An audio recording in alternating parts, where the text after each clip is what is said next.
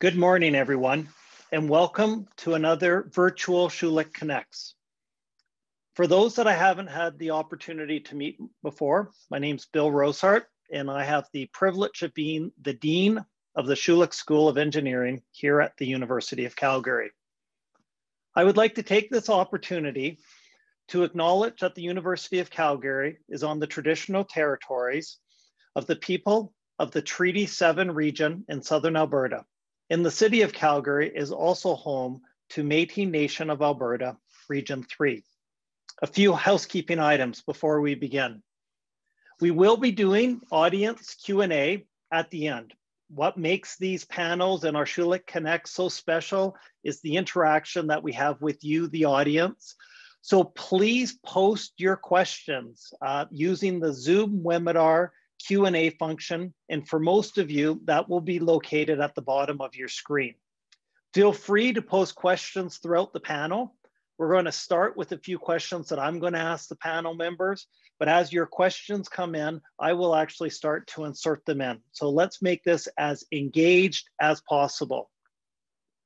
We have a lot of people joining us today, so I'm going to take a few minutes here at the beginning and share a little bit about the Schulich School of Engineering.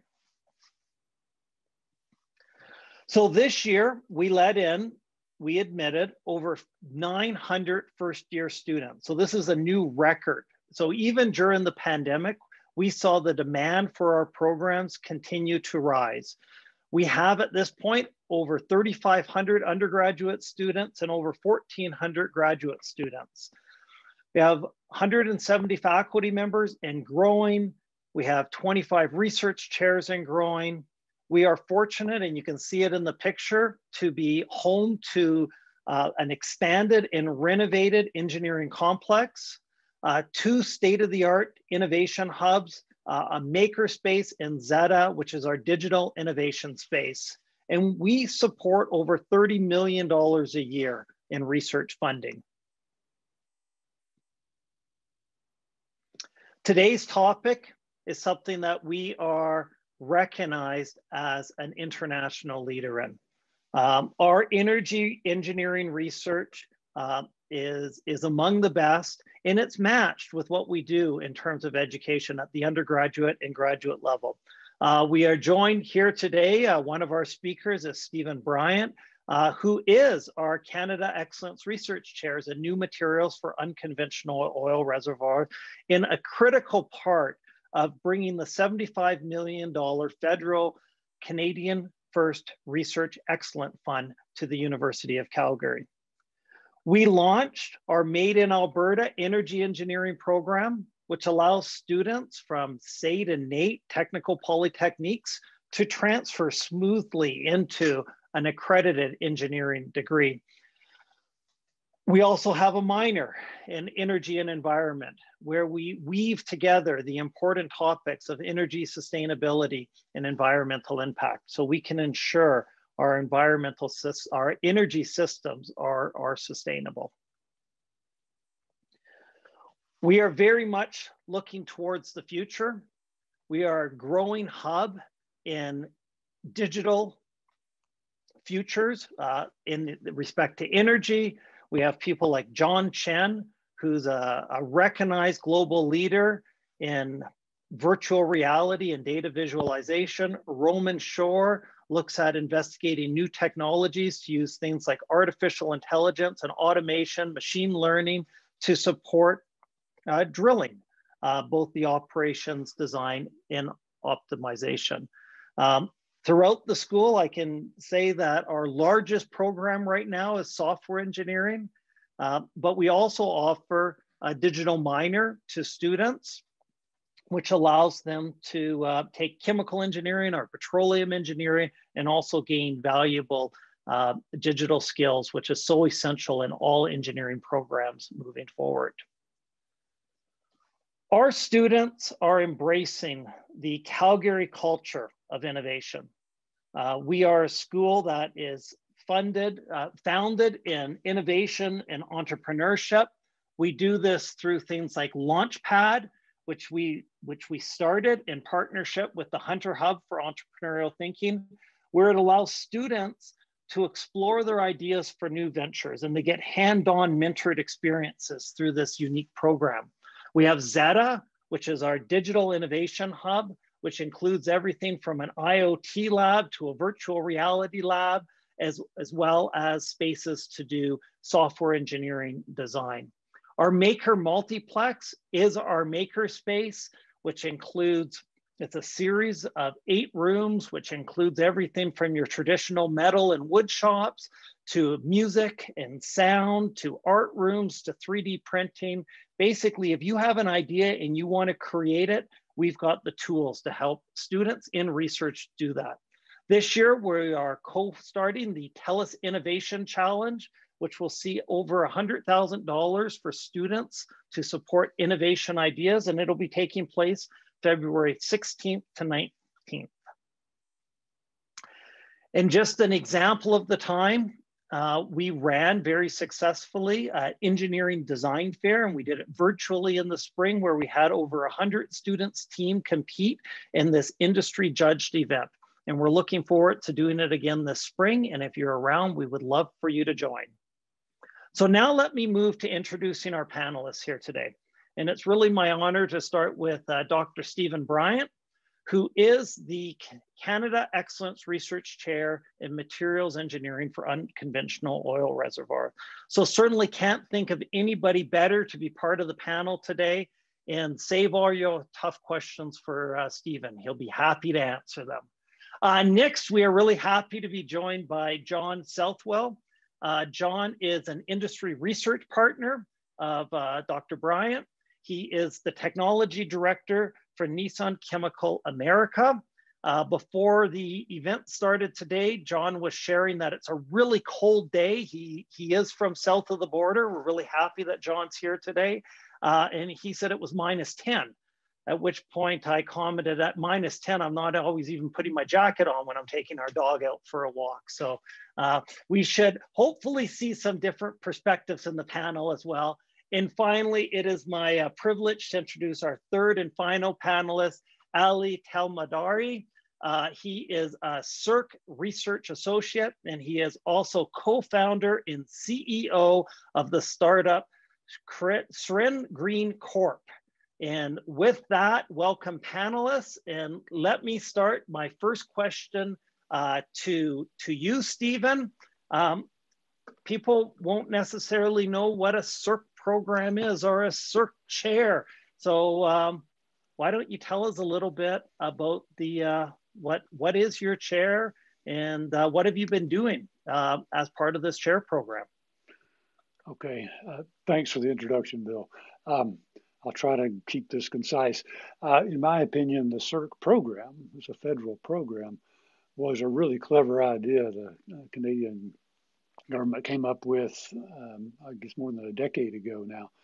The idea was to bring in international expertise you know, across the country, a variety of disciplines, you know, at the U15 uh, universities to try to help raise the game at already strong institutions. So, in, in University of Calgary's case, long distinguished record in energy research, it was natural to seek a chair from this program in that area. So um,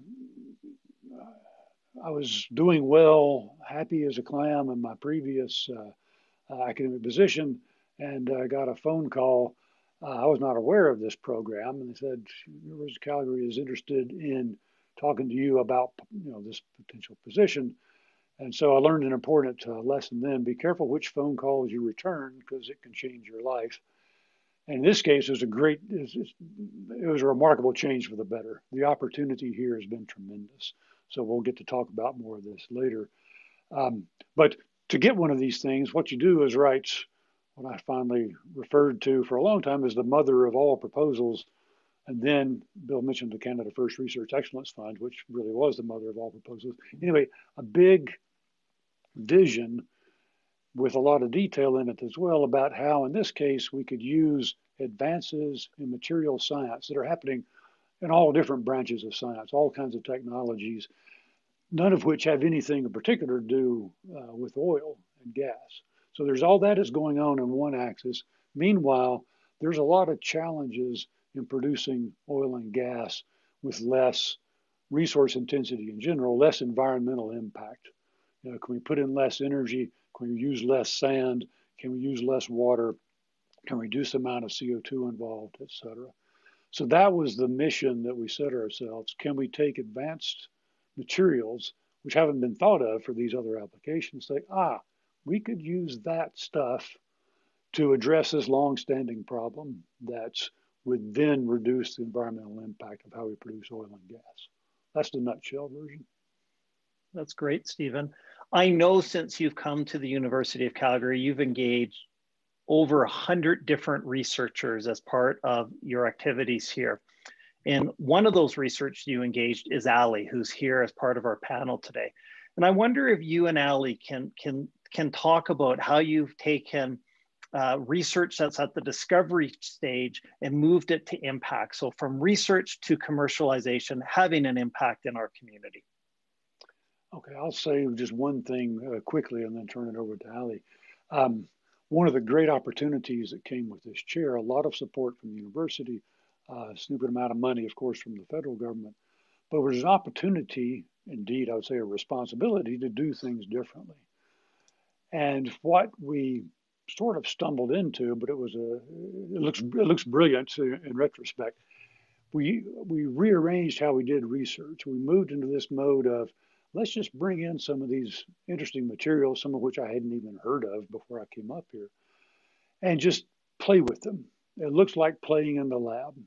It's, but it's not just playing, it's seeing what their properties are, how they behave with different fluids, always with an eye to oh, that could be useful for an application that we know of in some sector of oil and gas.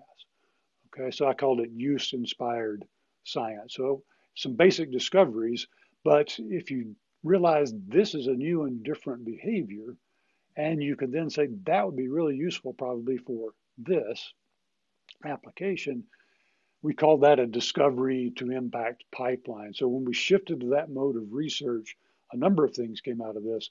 And one of them is, is, is what Ali is uh, now trying to commercialize. So, Ali, I'll turn it over to you to describe more about the particular oh. example of this.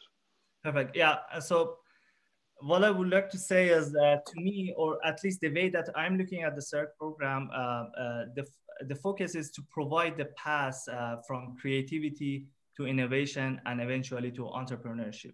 So what I mean by that is, you know, th- there's a distinction between innovation and, and creativity here. So in innovation, you need to solve a problem or uh, address a challenge, but in creativity, you don't have to do that. You just create, right? Uh, but in order to create an innovative solution, you have to be creative enough. So what I mean by that is, you know, you, you have to be able to think out of the box. You have to be able to explore and fail which is very important. You have to be able to do that. And at CERC, we could afford to be creative enough to come up with lots of innovative solution. And Synergreen, uh, which uh, I'm happy to be CEO of the Synergreen, is, is one example of that. And we had the mindset, uh, support, and infrastructure at CERC program uh, to pursue entrepreneurship as well. And again, uh, I'm just one example of that that could pursue the path from creativity, innovation, and entrepreneurship. And as uh, Dr. Bryant mentioned that those creativity in the lab, playing with those materials, see the properties of those materials, come up with the new solutions, is end up with the innovative uh, approach and eventually I'm pursuing the entrepreneurship here. Steve, it looks like you want to add quick? to that. Ali said something really important here. And sometimes we fail. Uh, because we'll, of course we do these webinars and we're talking about these great things that, that are successful that's fine but what's everybody who does innovation knows that some of the, the, the, applications we'll talk about today are not things we set out to solve at all we were going one direction and realized it's not working so well for that but you know what it could be really useful for this other thing and so there's a whole nother series we could do on that path so when we tell the story, we can tell it's a very straight line thing. Here's the papers, here was the discovery. But all those things that didn't work that went along the side, that is really useful exercise. And so having the time uh, and the opportunity to explore those dead ends and having the opportunity to say, that's not going to work so well, let's go this other way, that's been huge. That's been part of what we had the opportunity to, to do here. So, Steven, I look forward to inviting you to a future panel, and maybe we'll tentatively call it the brilliance of failure, um, like because it is such an important part of innovation. John, let's uh, let's hear a little bit from you. We know that engaging industry um, in innovation partnership is is so important. Could you speak a little bit about when's it best um, to first engage with industry and the role that industry plays in, in making research impactful uh, in our community. Absolutely. So uh, I think Synergreen and, and, what Ali and Dr. Bryant are trying to do is a really good example. Um, engaging with industry is important at some point. Uh, you can't do it all yourself. You need partners. You need trusted partners. Uh, we've known each other for a long time, and we've been supporting their research efforts with uh, supplying nanomaterials for quite some time, years and years. I, I got a petroleum engineer from Dr. Bryant's uh, engineering petroleum, petroleum engineering program, and she works for me now. So we, we've been friends for a long time. So where the rubber sort of meets the road and taking innovation and entrepreneurship and making it commercial, making it real, making a business out of it, um, that's a good place to start to engage with an industrial partner. For example, you can have a dream, you can have the chemistry per, uh, prove that it works, but actually turning that into a product that people will sell, that is uh, that's 90% of the work. And there are regulatory concerns that you have to worry about. There are legal concerns that you have to worry about there are production concerns. How do you make this stuff? Um, where are you going to make it? Where does it make sense to make it? Um, what are the volumes that are going to be required? Who are you going to sell it to? Who's going to be interested? Uh, how are we going to market it? These are all things that have to, that's where the rubber meets the road with an industrial partner. And we're happy to um, be early in with Synergreen and support their effort. Dr. Bryant, you look like you want to say something. Sorry. Bill, I'll try not to do this every time, Bill, but John said something that was really important about industry engagement. And we'll make sure everybody heard that. Nissan Chemical provided us a library of a whole, basically, you know, a sample of almost everything they make, and that's a lot of things, just so we would have commercially available materials to play with in the lab. This is way back at the basic research stage. So they enabled a lot of things. I mean, the discovery that Ali is, is now trying to commercialize, we discovered that using Nissan chemical particles. So that made our research so much easier, right? So, so there was engagement at the very early stage of things. Because so often people think about, okay, we do this research in the lab and something comes out and then you talk to industry. It's possible to have a much more engagement all the way along the process. And that's what I've loved about the example. And so I was so happy that John could join us on this know, so you're hearing, you know, both sides of it. Early on enabling the research, and now realizing, okay, we could help partner um, to develop this technology using materials that, that they're uh, involved in producing. So I, I love this story of engagement all along the process. Okay. Yeah. Synergreen is one good example that's uh, come out of this uh, chair program, but really about this partnership and this approach to innovation and research. Are there some other stories that you can share? Um, you know, I can, um, yeah, there are many stories, uh, not just in oil and gas, but uh, nanomaterials have application in many, many different industries our customer base is deep and broad. There are eh, they're, you're used in catalysts and coatings and all sorts of things. Everybody's glasses, if you have an anti-reflective coating on your glasses, Nissan nanomaterials are right here. There, in, there are 17 different Nissan materials in everybody's iPhone, for example. No one knows they're there, but they're, they're needed. And a lot of it is nanotechnology enabled. And uh, another example would be um, of innovation. People uh, take samples of our nanomaterials, turn them into something that's that's unexpected, uh, and unexpected results happen all the time in the laboratory. You're trying for something. Dr. Bryant is right. You're trying for something you're interested in a, a specific technical vector, and then all of a sudden you have a surprising result. But it's interesting and possibly useful. For example, uh, super hydrophobic coatings. I had a customer sample materials, found something they weren't expecting, and and made a nanostructured surface with super hydrophobicity, which has many applications. You know, you could put it on power lines. The power lines would never get ice buildup on them. You could put them on airplane wings, stuff like that. The the possibilities are really they open up. You just sit there and dream about it. Um, but that came about as a as a surprising result and uh, early industry engagement um, and being intimately involved with your suppliers and your customers. So it's it's good that I, am very happy to know Synergreen and Ali and Steve, um, just so we can and help help them grow in the right way and help them uh, take advantage of the lessons in industrial chemistry that we've uh, we've learned, and they don't have to go through those learnings. We can just tell them this is a better way to go. This is exciting. Now, the title of our panel today is The Future of Unconventional Oil Reservoirs. So which one of our panelists wants to uh, give their, their first view on what they think the big components of the future will be for unconventional reservoirs? Dr. Bryant, shall we start with you? Happy to, to weigh in. I'll cut me off after a few minutes. I could talk a while on this. The future of unconventional oil reservoirs is pretty similar to the future of conventional oil reservoirs. It's going to be all about carbon, carbon management, producing it in the form of hydrocarbons, dealing with the CO2 that's produced as you produce these hydrocarbons, that's, that's emitted, the CO2 that's produced when we then you know, ultimately use those, those hydrocarbons commonly for fuels. It's going to be about carbon management. And So there's some interesting ways to combine basically CO2 mitigation with production technologies, some of which uh, uh, well, I, we think a lot of this is on the drawing board, but the uh, the volumes work out. Uh, we think can be integrated with uh, tight gas production, can be helpful in tight oil production.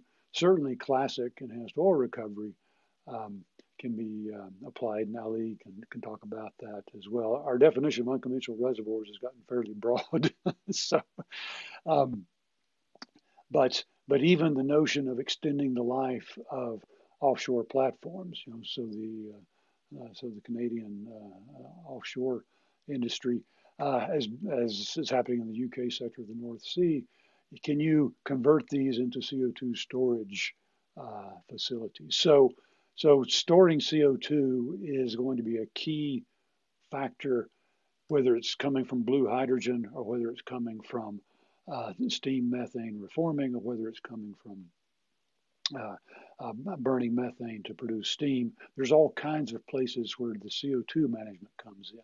So this is coming back to what I said earlier. In many of those cases, doing this effectively, if you just do the simplest thing, it's it's not very efficient, and it's going to be crucial to increase that efficiency. And so that's where material science can help make a difference enable you to do the whole carbon management piece, both in the efficiency of production and the efficiency of managing CO2 um, uh, better than we're doing it now. So the general cost to society of continuing to utilize fossil fuels uh, is smaller. Thank you. Ali, it looks like you have something to add there. Yeah, uh, I, I, just want to uh, continue on that note. Uh, so the, the carbon management in the oil sand or unconventional is, is very crucial uh, at this point. And there are technologies available to mitigate that. But the problem is uh, uh, the industry need to de-risk those technology first. And that's, that's a missing part here that the, the, these technologies um, need to be de-risked in the industry. So industry can see the benefit and can see the value in both efficient oil production and reducing the GHG emission so they can adopt these kind of technology faster and more efficient. So we can move toward those low carbon uh, energy future much much faster. So there are technology available within the university within the startups within the small companies but there uh, is is very slow uh, uh, for the companies to adopt those new technologies. And um, uh, that's that's one of the main challenge for those. But there i mean the solution is there. They just need to de-risk it and use it as soon as possible. So john I'll let you represent all of industry here in the in, in this question uh, beyond what you do uh, in, in, your day job. Um, what what can you speak a little bit more to what Ali was talking about the the barriers for companies to adopt new technology, um, where where there does appear to be promise in terms of things like carbon management. Yeah, um, a lot of the barriers we see from an industrial chemistry standpoint are regulatory barriers, uh, legal barriers. You have to uh, be very careful of um, where you step. Sometimes there's a, a, minefield of patents out there, and you don't want to infringe anybody's patent, so you have to be very careful. I spend a lot of time working on, we call it freedom to operate. Um, so it's, it's basically patent research um, in, in technologically, the barriers are mostly uh, talking customers into adopting new technology. You, you have to show them a very good reason for them to use new, new technology, especially in oil and gas. You know, if someone has an oil well, that's extremely valuable. If you damage that oil well with new chemistry, it, it it's it means millions and millions of dollars to those people. And sometimes they're they're small operators. They've only got that one well or maybe one or two wells and you've just damaged their livelihood. So you have to be very careful what you put down someone's oil well. Um, in terms of the future of unconventionals i can give a good example of innovation uh, frac hit mitigation. And this is something Synergreen's interested in it's something that our customers are already applying nanomaterials for. Uh, frac hits are something that happens when you do hydraulic fracturing. You have uh, a lease on some land and you're hydraulic fracturing the, the hydrocarbon bearing layers on that land. Uh, you, you do one, one frac job and there's initial production of hydrocarbons, but that starts to decline over time as, as high molecular weight junk moves its way towards the well bore. So what people do um, a lot of times is drill a nearby well and frack again. That that access more accesses more of the hydrocarbons on that leased land. But if you frack a well too close to the first well, this is called the parent well, the first one. This is called the child well. Child well.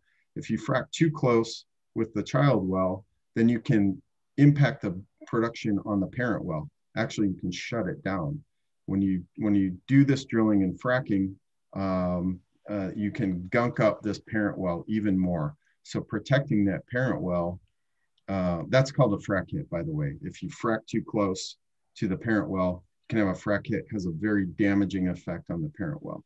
So to protect that parent well, um, our customers found out that if you pressurize that parent well, make it very high pressure, hydraulic pressure, water, and then frack the child well nearby, there's a net flow from the parent well towards the child well, and there won't be damage on this parent well. And our customers find out if you pressurize, if you first put down some nanomaterials, uh, our, our nanomaterial bearing products in the parent well and then frack the child well, actually the, the initial production or the production on both wells goes up dramatically. So that's a great application of both engineering innovation and materials innovation. And uh, we're doing that. Synergreen's going to be doing that with their product. And uh, innovation in the technologies, both in, in engineering and materials, continue to advance. Every year, there are new advancements in, in oil and gas technology. Um, I could say adoption of nanotechnology in oil and gas has been relatively slow compared to other industries. So for my company, that's a great, and me as a scientist, that's a great thing. That we keep seeing places that uh, in applications in oil and gas where applications for nanotechnology uh, haven't been adopted yet, and and the the opportunity for for innovation is is it just abounds in oil and gas, and we we find new opportunities every week. Um, my biggest restriction is resources. I need more scientists, and I need a bigger laboratory. So that's that's is yeah. I could go on about it forever, so I'll I'll leave it there. So so let's talk. Um, I'm sure many of our attendees um, know nanomaterials, but I'm also sure that there's some that are less familiar with nanomaterials. So John, whether it's the example that you just spoke about where you put the nanomaterials in, um, could the three of you give us the nanomaterials 101 in a couple of minutes here, and then talk about like specifically like in terms we understand, how are they having these uh, really high impact on some of our processes? Ooh, ooh, ooh, I'll start. you, do, you, do you need a chalkboard as well, Steven, to make this? A, typically, I do, but I'll wave my hands a lot. There's there's three things that matter here. Uh, nanoparticles are really small. That's why we call them nanoparticles. Um, you know, you take a hundred of them to make up the diameter of one human hair. So, so you can't see them with the naked eye. These are tiny little things. That's important for oil and gas, especially in the subsurface, because then you can you can imagine you can actually do propagate them through reservoirs. The pore space in reservoirs is usually large enough that nanoparticles can go through them. That's one thing. Second thing, it's possible to change the surface chemistry of nanoparticles, and Nissan Chemical you know, does this routinely. You can tune the surface chemistry to be whatever you like, basically. And so that has really interesting effects on how these particles interact with fluids and solids. And in oil and gas, you've got at least two fluids, often three oil, gas, water. You've got solids called the reservoir itself. And so you can tune how these things interact. Third thing, you can make the particle out of a variety of materials but some materials are quite interesting. They're magnetic. They respond to electrical fields. They there's a they they luminesce. They do all kinds of interesting things. And sometimes the properties of matter at this nanometer scale are different than they are, you know, if it's the size of my fist. Okay. So they're small enough to be useful in a whole variety of reservoir applications. Uh, we can tune the chemistry to target what kinds of things we want them to do especially at interfaces. And then thirdly, we can interact with those particles in ways that you can't do with conventional chemicals. So it's really having a new tool in the toolbox to affect what fluids and solids do and how they interact. So there, there's the 101. I'll hand over to these applications guys. Let's go to John and then Ali. Yeah, nanomaterial. And John, when you're answering the question, um, we, we do have uh, some questions uh, from your example that have been posted. So when, when you're answering my question, maybe you could also add uh, a few more details about the uh, nanoparticles um, in your example, both what are they, how are they working, and what happens to them afterwards. Yeah, sure. So um, I can say in general, nanomaterials have been with us the whole time what's different uh, now is the attention that's been given and the, the research that's been given to nanomaterials in the last 20 or 25 years. It's really come to the forefront of academia and, and industry, uh, but they've been here the whole time. Whenever you, for example, polish your silver, you're making little tiny nanoparticles of, of silver and silver oxide that that go everywhere. And that's been happening since people have been using silver. Uh, nanomaterials are in all, all, the pigments in all our paints. Um, that's been around for, you know, a couple hundred years now. Um, anything that, you know, any white paint that, that's on anybody's wall, that's got nano TiO2 in it. And it's been, it's been there the whole time. It's just uh, people's understanding is, has grown in the last couple of decades. Um, so um, nanomaterials are loosely defined as any any kind of solid particle that is uh, one or zero to 100 nanometers in size. Anything above that is sort of classified as a microparticle. Uh, nanomaterials um, are various in composition. You can use the whole periodic table to make different kinds of nanoparticles. You can make oxides, sulfides. The, the, the palette you can paint from is very, very broad. It, it really covers the whole periodic table. Um, the things that are useful and uh, economic to use, that, that's a, a shorter list. Uh, what we're using mostly in oil and gas is nanoparticles of silicon dioxide. And in layman's terms, that's sand. It's just taking, uh, and you actually make it from sand. Um, one one uh, economic way to make it is you take sand from a reservoir somewhere, a mine, you mine sand, you dissolve the sand with chemicals, uh, caustic chemicals, that turns the sand into a salt. And then you slowly remove sodium and uh, these little tiny particles, sometimes as, as small as one or two nanometers in size, uh, grow when you start to remove sodium. They grow in the liquid. And you can stop the stop it at a certain time to get a certain particle size. You can change it at, uh, during the process to make a different shape the normal shape is spherical, but you can make different shapes and sizes. You can make anything you want. Uh, and those different shapes and sizes have applications. But uh, for silicon dioxide, you can further take that silicon dioxide nanoparticle and decorate the surface with organic groups. And that has utility when you put uh, just regular uh, nanosilica down in oil well. You don't want to do that because there's very salty water down there, very briny water, and that would cause the silica particles to stick together and damage the well. So um, a good advancement has been to learn how to decorate the, the surface of those nanoparticles so that they don't agglomerate in the presence of brine. And that's allowed us to go into the oil and gas market. So there, there are a lot of examples of nanomaterials in industry, but for this, for this specific panel, silicon dioxide is, is the most important one, mostly because it's cheap. It's pretty much the cheapest one out there. And you have to take care of, of your customers and, and make it economic for them to do an oil well treatment. Ali, do you have any? Uh, any... I would like to build on that. Uh, uh, what I like about the nanomaterial is uh, you're not limited to this uh, simple formulation. So if you want to uh, design a molecule that do some specific application, then you can do that with nano nanomaterial as well with a simple uh, surface modification or simple additive uh, that you can do in, in very large scale with very low cost. And you don't have to stick with one single molecule. And when, when, when you're moving to the different application or different objective, you can easily adapt at higher scale and to design that formulation. Uh, and what we are doing at Synergreen is very, very similar to that. Uh, we can design that nanoparticle and other molecule that can do different application and can design foam for different application.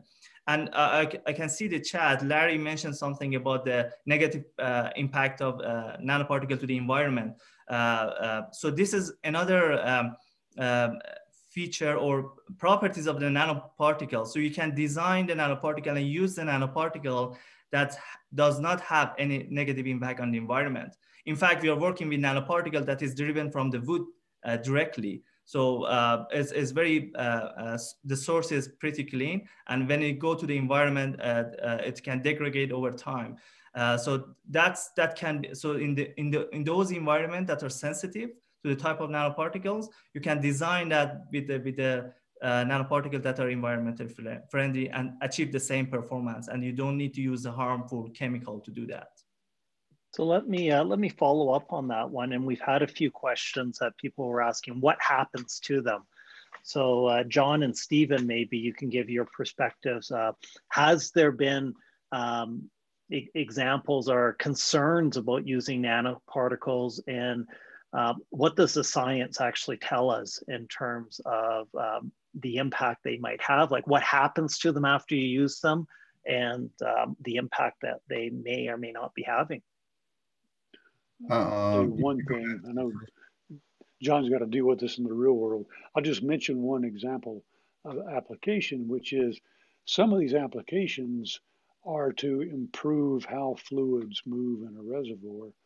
And the way to one way to do this is put a fluid in there that essentially stays put. So there's a number of applications where the particles will never come out of the reservoir. They will stay down there.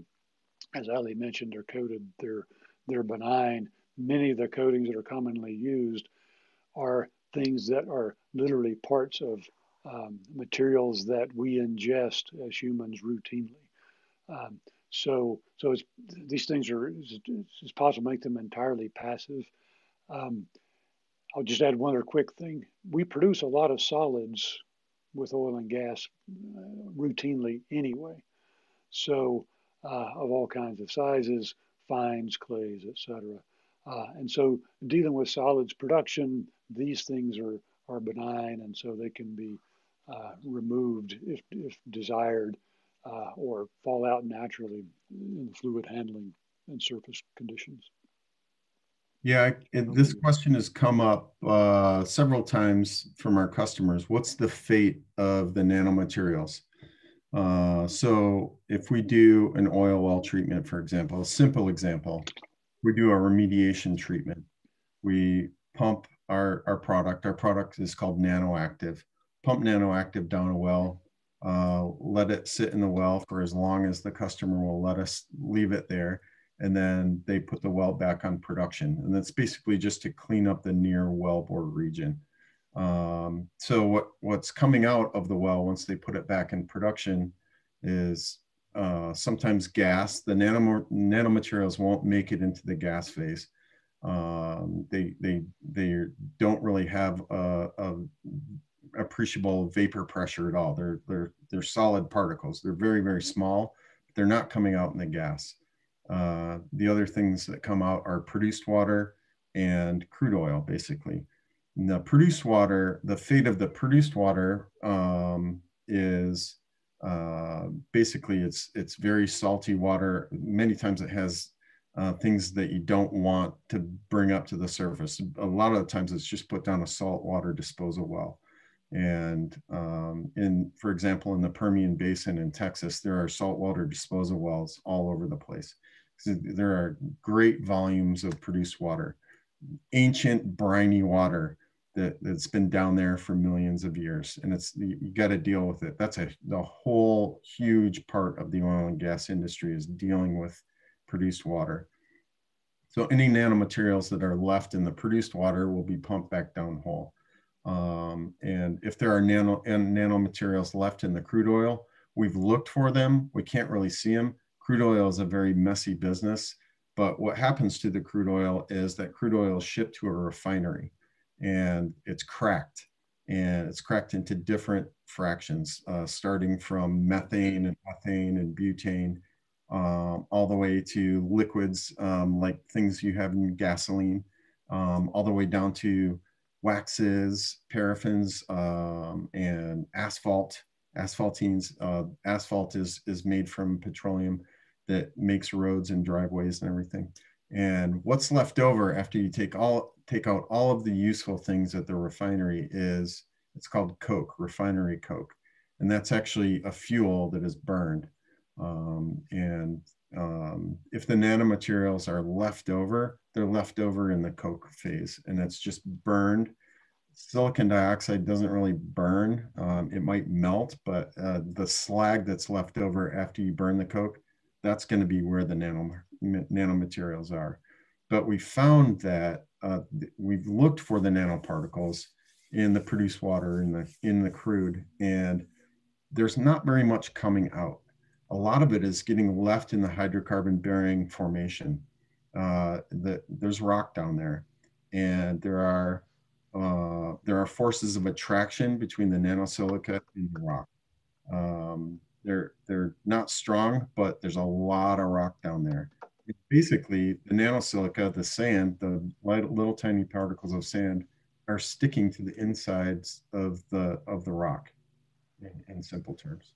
Okay. Now I'm I'm not an expert on nanomaterials, but I know a little bit more. Um, let's go back to some of the applications. Uh, Steven, you, you talked about, you know, when I, when I asked the big picture, what's the future of unconventional reservoirs, you talked about carbon management. What are some of the, uh, or are there uh, applications of nanoparticles um, to capture to store uh, CO2? Well, to store or capture CO2, um, there probably are. There may be simpler ways to do that. Um, but some of the materials, this is timely because we're just kicking off something. Uh, we'll see what happens. One of the one of the interesting challenges is to address carbon. We need to do two major things. We need to avoid emissions, like capturing CO2 as it's uh, from from fuel being burned. And it's clear now that we will also need to actively pull CO2 out of the atmosphere.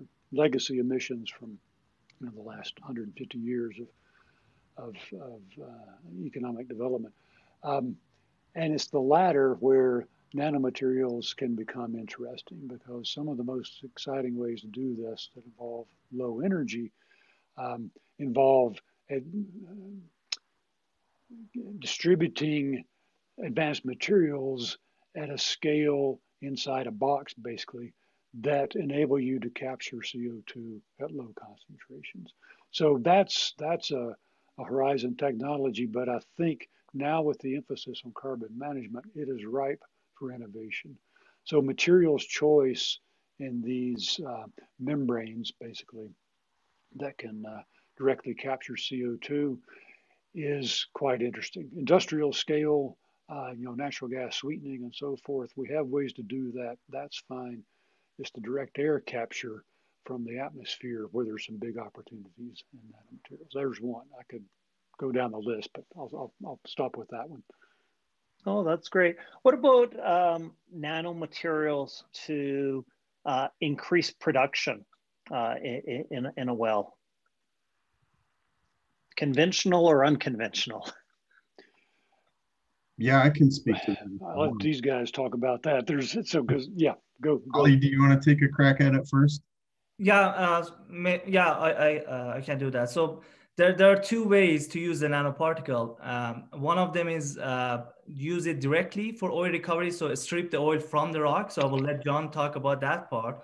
So another way is to design different fluids with the with the with the nanoparticles uh, to to mitigate the issue in the oil recovery, low sweep efficiency. So co conventionally. Uh, when uh, when operator inject water or gas or steam for oil recovery, because of the low viscosity and reservoir heterogeneity, there are channeling, channeling happen between the wells and there are short circuiting between the wells. So this eventually leave lots of oil behind and uh, designing different fluid to improve those sweep efficiency and access more pore space in the reservoir is very important. And we can achieve that with a nanoparticle stabilized fluid this is one of the one of the things that we are doing at Synergreen, but designing the nano uh, particle stabilized foam with CO2 or with steam as a gas phase to mitigate that issue and to have to uh, have access to more porous space in the reservoir. So this contribute to the moil oil recovery. And if you are thinking about the CO2 storage, we can access, uh, we can open up more pores for more CO2 storage and maximize the storage capacity as well. Yeah, I can I can speak to it a little bit that's that's a good summary, Ali. So, uh, uh, increasing production, um, the the way nano nanomaterials are working right now, it's actually uh, a very important new piece of business for for my company. Um, so, in, in general terms, what you've got in a hydrocarbon bearing layer is rock and oil and water. The oil is it's basically uh, uh, it's various. It depends on where you are, but the composition is just what goes to the refinery. It's it's the very light ends, which are methane, butane, propane. Uh, the liquid ends that are are various, you know, that make up gasoline, for example. And then there are the very heavy ends that are the waxes and the bitumens that are very uh, prevalent in Alberta and the the asphaltenes. Um, those are all dissolved in the hydrocarbon bearing layer under very high pressure and temperature. And at that pressure and temperatures, those very high, high molecular weight things like waxes and bitumens and asphaltenes, those are very happily dissolved in the hydrocarbons at that temperature. When you poke a hole down there and start, you know, you start sucking out the, the hydrocarbons, that that wellbore is relatively low temperature and low pressure compared to the rest of the formation. So the oil starts coming out towards the wellbore. All those high molecular weight things, those very heavy ends, are slow to move in. They reach the, the low temperature and relatively low temperature and pressure at the wellbore, and they're not dissolved anymore. They, they, they do what's called precipitation. They precipitate near the wellbore and gunk up the rock near the wellbore, and they need to get cleaned out. Before nanomaterials, the way to do that was either use uh, pump down gas like CO2 or nitrogen or something that has that, that dissolves those high molecular weight things and you can clean it out. With nanomaterials, you can pump down a nanomaterial fluid and the nanomaterials have uh, the effect of prying those high molecular weight, um, all the gunk, prying it off of the rock surface. We call it the wedge effect. That's that's a rabbit hole we won't go down. Um, it comes out of some initial research. I we became aware of it through a customer who started buying our nanomaterials for his own formulation for oil and gas fluids. His interest started uh, from some research that was done at the Illinois Institute of Technology, uh, basically for, for consumer products like laundry soap and, and cleaning products, where it was noticed the addition of nanomaterials really helped the performance of removing oil from surfaces and, and clothing and fabrics, um, dramatically improved it uh, step change in performance. So that was a, uh, our customer applied that to his oil wells, his customers' oil wells, and had fantastic results.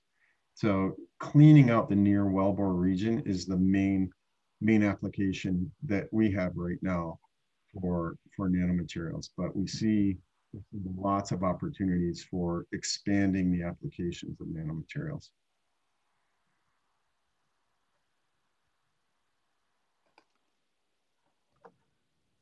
Bill, you're on mute. Uh, it had to happen at some point. So why was I on mute? Because one of my kids came in the room asking where the electronic was. So that's why I put myself on mute. Um, lots of questions and um, we're getting to them as fast as we can. So maybe a quick answer to this one. There, there's different types of reservoirs and Steven, this one's directed to you. Um, so are there nanoparticle materials that can uh, can dramatically, materially change recovery for oil and carbonate reservoirs uh, versus um, uh, other types of reservoirs. It comes back to what we talked about earlier. You can tune these things. You can design the surface chemistry of the particle to be appropriate for whatever your application is. And so, you know, the different mineralogy, you know, it's calcium carbonate, uh, and uh, dolomite and a, carbonate reservoir, it's silica and a sandstone. Um, to the extent that that changes the way the surface of that reservoir interacts with the fluids, you can tailor your particles, or these days you can choose one off the shelf. This was out of these point. It's already made, which has the properties that work for that reservoir. So that was a long way of saying yes. Uh, you can do this. Uh, it's it's it's not. And, and if they're really keen, they should give you a call, Steven. Mm-hmm. there, yeah, absolutely. Anybody would be happy. But the key point is we're not agnostic to the reservoir type. We can tailor to the reservoir type and the fluid type. That's the advantage of this class of materials. What about using nanoparticles to slow down corrosive processes in oil field materials? John, okay. you're nodding. I'll give it to you. Yeah, absolutely. Uh, corrosion is a huge problem uh, many megatons of chemicals, traditional chemicals, are sold um, for corrosion prevention um, already. And um, we're just starting to apply nanomaterials to cor corrosion prevention. Uh, there are other applications, for example, um, scale um, happens. Uh, salts fall out of water and gunk up the equipment. Paraffin is a huge problem in oil production. Paraffin um, falls out of solution and gunks up the process. It's not just downhole, but the surface equipment and pipelines. Paraffin's a giant problem. Um, iron control. There's a lot of iron dissolved in the water. and um, it, it, it, it, creates a sludge with, with uh, crude oil uh, that is really difficult. It gunks up wells and it gunks up equipment. So iron control is a huge problem. These are all new applications for nanomaterials. Like, like we said, new opportunities keep popping up every week. Can you use nanotechnology for, for corrosion prevention? Absolutely. It's already been done, being done by us in Japan for, it's called the electrical steel industry. And you can apply nanomaterials to to metal surfaces that protect them very effectively. Not forever, but very effectively. And it, essentially, you're putting little tiny particles of sand on the surface. They act like uh, little ball bearings. It's an, a, it's a, a, barrier to the corrosive chemistry. Um, and um, like Dr. Bryant and Ali were saying, uh, you can tailor the chemistry of the silica to do just about anything you want. Uh, so interact with those corrosive species before they get to the metal. Absolutely. It's already being done in other industries. Applying that to oil and gas will take a little bit of tweaking, but absolutely. And the only the only real barrier to making that happen is, for my company is resources. That's why it's really a pleasure for me to work with people like Synergreen because they they can attack problems that I don't have the resources to get at and they're actually doing that right now. We're very interested in what they're doing, and we want to bring it to the United States. We want to take their products and apply them for our customers. So, um, you know, it's basically, I, you know, it's a slow, slow, slow project to build a bigger lab and get more chemists. It's faster if I can interact with innovative new companies, startups like Synergreen. That that speeds up innovation for everybody. Oh, this, this has been great. And I know we're running out of time. So let me quickly give each of you 30 seconds in terms of the future of unconventional oil reservoirs. What do you think the uh, in the next three to five years, what's going to be the big technological change uh, that you're most excited about? Why don't we start with Ali this time and then maybe uh, John, then Steven. Yeah, sure. Um, I will, I will do it in 20 seconds.